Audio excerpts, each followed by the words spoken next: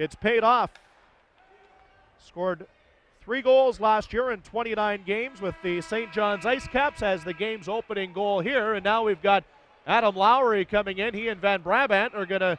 Are they going to get involved here? Yes, they are. The flippers are going to fly, and we're going to have a fight right at the end of the opening period. And Lowry is controlling this physical battle early.